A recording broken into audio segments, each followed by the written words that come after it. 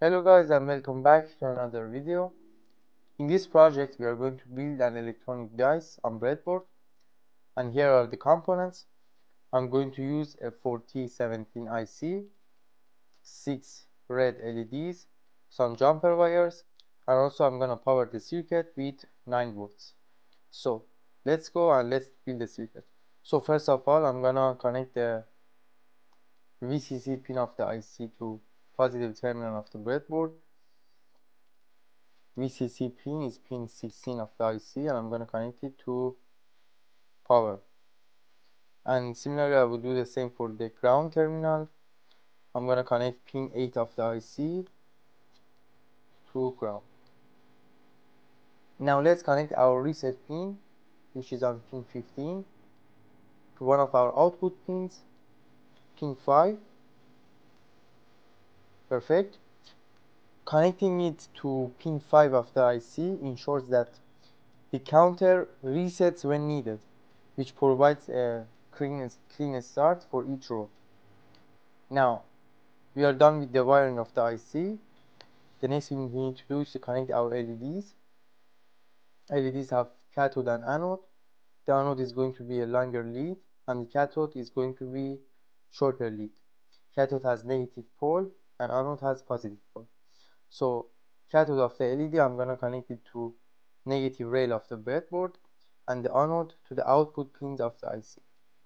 So let's start from the first pin, anode to first pin and cathode to negative rail of the breadboard. I will do the same for the other LEDs.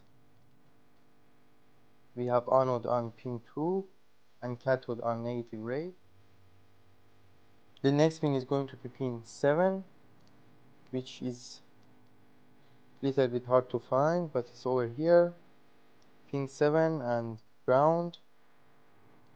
Our fifth LED and our sixth LED I'm gonna connect it to pin 10 of the IC which is going to be this pin and the cathode I'm gonna connect it to ground looks good. To regulate the counting sequence of the IC, I'm going to connect the jumper wire to our clock pin. The clock pin is going to be pin 14. I'm going to connect the jumper wire and the other side of the jumper wire remains unconnected. So whenever I touch the other side of the wire, it introduces a momentary change in voltage or capacitance causing the counter to advance.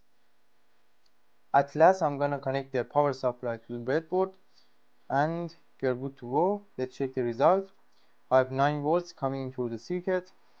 As you can see, I have changed the wire on pin 14 of the IC since the yellow jumper wire uh, wasn't stable enough and it would bend too quickly. This one looks better. So right now the LEDs are blinking too quickly. The reason is that the wire on pin 14 doesn't have any connection. It's not connected to any other pins and it's too sensitive. So whenever I touch the jumper wire on pin 14, the random LED must turn on. Let's see. So right now we get 4 on our dice. It's 1, 2, 3, 4, 5 and 6. Let's grab another number again we have 4 now we get 2 4 5 5 again 4 let's grab 1 can we? 4 2 2 again. No it doesn't give me 1 4 now we get a 1 now let's grab 6 can we get it? 5 2 1 so it doesn't give me number of 6 on dice but that's fine. That's okay.